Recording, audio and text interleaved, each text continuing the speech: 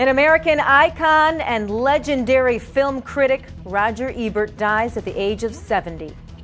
Life in prison for the man who murdered the ex girlfriend of former Chicago Bull Eddy Curry. And the Illinois Supreme Court rules against the E2 nightclub owners.